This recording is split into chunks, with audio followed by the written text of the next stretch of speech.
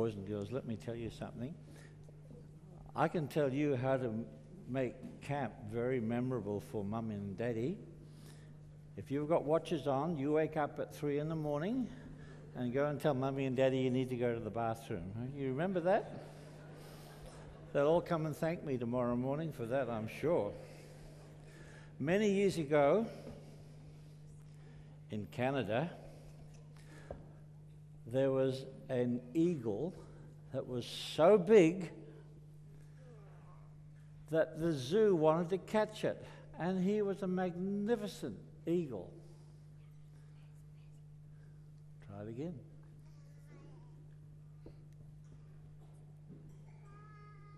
This is really exciting, isn't it? okay, just hit it for me, guys. And this eagle lived way out. Doesn't he look fierce? He lived way out in a valley with a big mountain on one side. It was called the Canadian Rockies. And the zoo people said, We will give $5,000 to anybody who can catch that eagle and bring it here to the zoo. Well, all the best hunters in Canada, they went rushing out to that valley. But every time the eagle saw them, he's a very shy eagle. this. You know why he was a shy eagle? Because he was called a bald eagle. And uh, let's go, uh, here he is. Doesn't he look fierce? And every time he saw the hunters, he would open his great big wings and he would go up and up, next one, and up. We're going backwards. And again, into the air. And he would go up so high until he was just as big as your little finger. And you can't catch an eagle when he's that high up in the air. And for years they tried to catch him. Yeah, a plane can catch him, but it would sort of do a bit of damage, wouldn't it? And then one day, an old Indian man, he came to the zoo and he knocked on the door. They let him in. He walked past the rhinoceroses. He ignored the elephants. He didn't even look at the lions. And the crocodiles, he couldn't care less until he came to a door that said manager. And he knocked on that door. And the manager said, Come in. And he opened the door and he said, Hello, Grandpa. What can we do for you today? And the old man looked at him and he said, Will you give me $5,000 if I can catch the eagle? Grandpa, if you can catch that eagle, I will give you $10,000. Well, okay. And he went out. He walked past the crocodiles, and he walked past the, and he walked past the, and he walked past the, yes, and he went out the gate.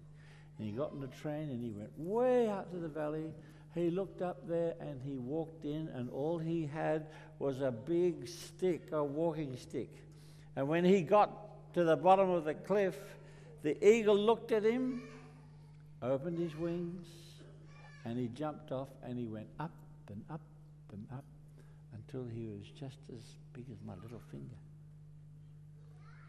The old man didn't bother. He just climbed up slowly up the cliff until he got to the eagle's nest and he got the stick and he laid it down right next to the nest.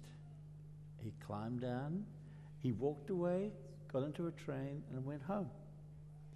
And the eagle, look at him flying around, and he saw that there was something strange next to his nest. He didn't go near it for one week.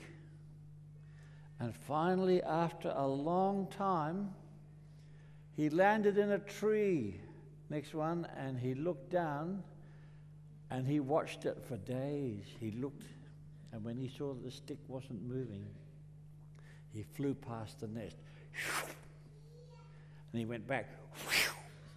And then he landed near the nest and he looked and he looked at the stick. Did the stick move? No. Finally, he got back in the nest and his wings were ready to take off he looked at the stick. And then he relaxed. Ah, oh, that stick wasn't going to hurt me. And then one day the old man came back and the eagle went up and up and up in the air until he was as big as my little finger. And he was carrying another stick, and he climbed all the way up, and he put the stick next to the other one. And he went away. And this time the eagle, he only stayed away for two days, and he thought, this man's silly.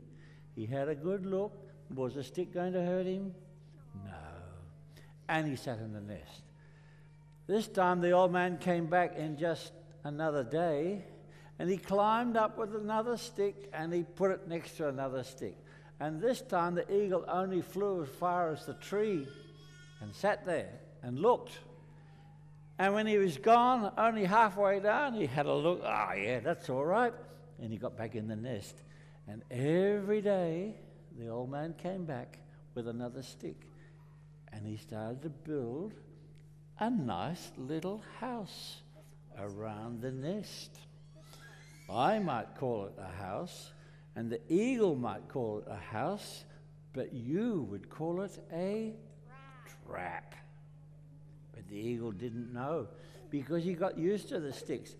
And the old man was so kind because when he built the walls and the eagle had to sit like this to look over the top, he started to build a roof.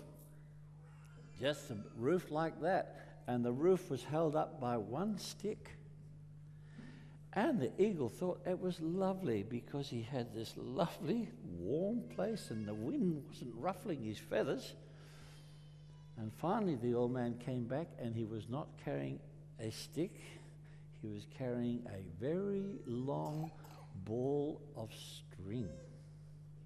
And he climbed up and he tied the string to the stick that was holding the roof and he went all the way and he looked. And the eagle thought, okay, hopped in the nest, ruffled his feathers, settled down, and the old man, he just tugged the string like that. Bang! The roof fell down. And the eagle flew up and bumped his head. He was angry and screaming. And the old man went, and two of his friends came along with a big bag. And they climbed up. And they got the eagle and they stuffed him in the bag and they took him off to the zoo. He went in the front gate. He didn't look at the. He ignored the. He walked right past and he didn't even think about the. And he went to the door that said, and he knocked. Come in. Oh, hello, Grandpa. What have you got in that bag? And the old man said, Will you give me $10,000? Oh, yes. You look at the next picture as it comes up. If you look at that eagle, you can see there's not sky behind him, there are actually bars. He was put in this big cage and he was very, very unhappy. Next picture. Can you see him there? Does he look happy? All day he would sit up right up the very top on a top branch and he was always looking in one direction. What direction do you think that was? Home. And he couldn't get there. Next picture. Boys and girls, that's a picture of the actual cage that he lived in. And if you look very closely, you can see he's right up on the very top branch. But you know what happened? One day, or should I say one night, somebody crept in with a pair of wire cutters and cut the wires, and the eagle escaped. Good. Good. and he flew home, and they never, ever caught him again. You know, the devil's like that. He sets a trap for us, and at first we're very frightened, and then we get used to him, and then we're not expecting it. Bang goes the trap. But Jesus loves us so much, he made a way for us to escape. Now, I want to tell a story this morning about a man who escaped from the devil. And I need you people just to move out a little bit because I'm going to use this is a house. You think it's a piece of cardboard. And I've got two helpers down there who are going to come up and, and hold the walls of the house. Can you kids there just move back a little bit? And this man was called Paul. Thank you, Pastor Stanley. Look after my house. I'm a master builder. You know, Paul, he used to preach about Jesus, and the people who didn't like to hear about Jesus used to do horrible things. They would beat him up. He was left outside the city for dead. They threw rocks at him, hit him with, with sticks, and finally he went to a city called Corinth, which was a very wicked city. And when he started to preach in the church, some of them would cover their ears and say, We don't want to hear about Jesus. And finally, they got him and they threw him out. They said, You will not come into this church. And he shook his coat. Whoops, and I just lost everything. Wonder my ear didn't come off.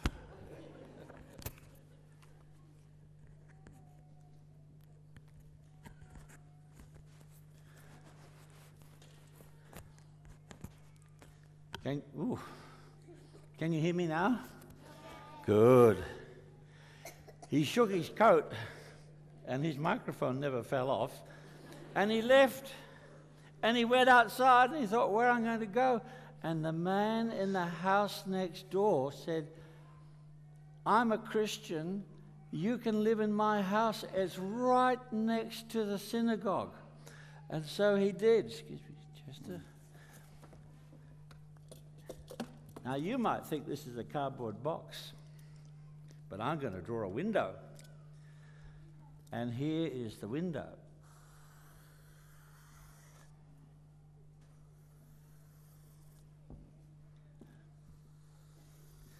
And you know, sometimes in Corinth, can you see Paul there in the window? Well, we better do something about that. Hands on heads. Oh, I love the raw power of a teacher. You just go a little bit over there, keep your hands on your heads because I'm using a sharp knife and I'm allowed to use it, but you're not. But we have to make a window. So, do you want to see inside? Well, let's see what we can do here. Cut the window. If you're in there, Paul, I hope you're standing back this morning. And cut a window here. And along here. Now, uh, shall I open the window? Let's open the window. Say hello, Paul. Hello, everybody. Well, you know, when the people in the synagogue tried to preach, and I need my Bible here so I can preach,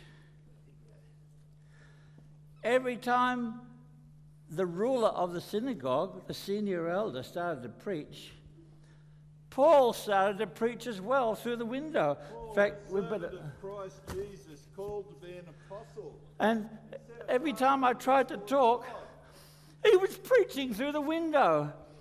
And the people weren't listening to me, they were listening to him.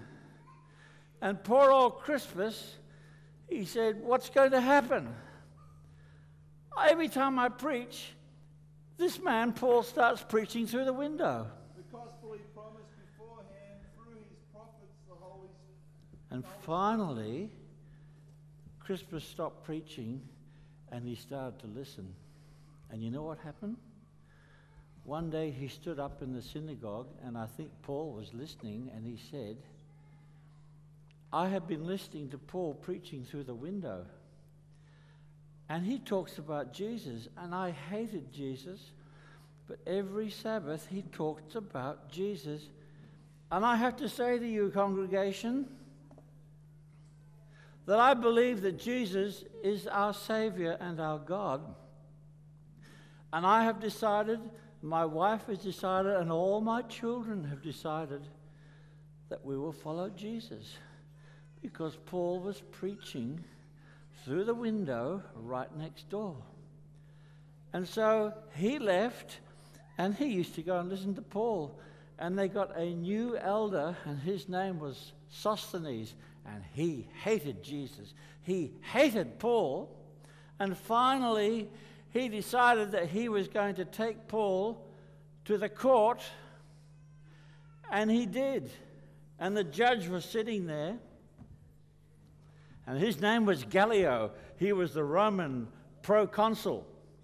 That means he was very important, and he wanted to make sure that they followed the Roman law. He looked at Paul, and Paul started to stand up, and he wanted to talk about Jesus, and Gallio said, Stop, stop. He said, I am hearing that you are charging Paul that he is upsetting your traditions and your religion but I don't care about that. I'm only interested in the Roman law. Let him preach. Get out of my court. Sosthenes, get out. All the people get out. And they did. And they were so angry. And this is in Acts chapter 18, folk. That when they got Sosthenes outside, they were so angry they got sticks and stones and their fists, and they beat him up. The leader of the synagogue. And he was taken home a very, very sick man. Now, the Bible doesn't say what happened next, but I'm going to tell you what I think happened. I think that night, Paul went to Sosthenes' house and knocked on the door. And Sosthenes wouldn't have opened the door. He would have been in bed feeling very, very sore. And maybe Mrs. Sosthenes came to the door, and she, who did she see? It was Paul. What do you want? And he said, I've come to see Sosthenes. Really? And he stepped in and he followed her through the house, and there was Sosthenes lying on the bed. Do you think that Paul might have got his fist and punched him? No, he didn't. I think he knelt down next to his bed and put his arms around him and said, Brother Sosthenes, you are very sore. You have been beaten today, and I know what it's like. I've been beaten many times for Jesus. And I think that in your heart, you know that Jesus is correct and that Jesus loves you because I used to hate Jesus. I used to kill people who didn't like, who, who, who followed Jesus. And I want to pray for you because I believe that God wants you even though you've been beaten. You know why I tell this story? Because there is a strange little verse that Paul wrote after he left Corinthians, after he left Corinth, he wrote a letter and it's called in our Bible 1 Corinthians. And if you look in 1 Corinthians chapter 1 and verse 1, there's these beautiful words Paul, called to be an apostle of Christ Jesus by the will of God, and our brother Sosthenes. The Bible tells us that Sosthenes became converted. You know, God has a strange way, boys and girls, of making good things out of bad. Mums and dads, we heard the most wonderful sermon yesterday from Pastor Brad Thorp. And long after you have forgotten the details of his sermon, you will remember the story of the old couple, the McGees, who took in his grandmother. and his father as a little boy. Out of a terrible tragedy when he lost his grandfather came something that today we call Hope Channel. They had no idea that from a tragedy God was going to bring so much good. And here was a man called Sosthenes in the Bible who hated Jesus, was beaten up by his own people, but God was waiting to soften his heart. And boys and girls, as you grow up, things will happen to you that are sometimes very difficult to explain. But if you keep your hand holding Jesus, He will always have a way of making good out of that in the long run. And mums and dads, you know what I mean. We're going to pray. Let's shut our eyes. We'll have a little prayer together. Shut your eyes, boys and girls. Dear Jesus, as we've heard the story of Sosthenes this morning, we think of our own lives when unfortunate things can happen. We can lose a loved one. But we just pray that we'll continue to have faith in you because you know history from beginning to end and you love us so much, you can make good things come from bad occasions. And like the old man and the eagle, even though we may be trapped, you always look for a way to open that trap and to let us escape. Boys and girls and mums and dads, it'll be a wonderful day when Jesus comes, and we pray that we'll all be ready to meet him because we ask it in the name of your precious Son, Jesus. Amen. Thank you, boys and girls. Thank you, helpers. Thank you, Paul.